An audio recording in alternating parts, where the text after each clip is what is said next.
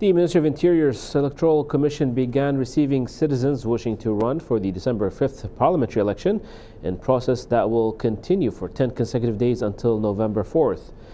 This year's entry application process is different due to COVID-19 pandemic, which led the Electoral Commission to enforce precautionary measures to ensure the safety of the candidates and employees. Registration has been set up in Al Shuwaykh residential area by the Interior Ministry to ensure proper safety and health measures.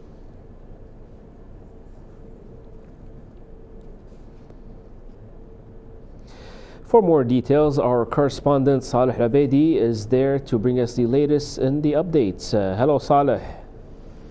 Hello, good evening. Uh, yeah, can you describe uh, the uh, registration turnout so far in light of COVID 19 uh, uh, health measures and the number of uh, candidates in each constituency? okay, so today is the first day for the registration process for the 2020 parliamentary elections. So far, there is 83 registered uh, candidates.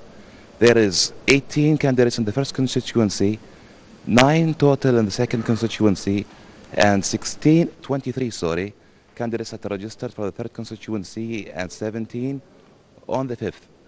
The total of candidates so far is 83, which is 6 uh, females and 77 total of males. So far, the uh, preventive health team is uh, present here at the location where they are ensuring that the candidates who are under quarantine or are uh, sick with corona are registering through their cars without any contact with any of the people inside the premises.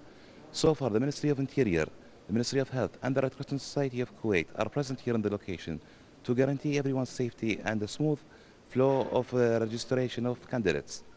Uh, so far, the turnout has been great, and today is the first day, and we are expecting more candidates to register during the, the forthcoming days.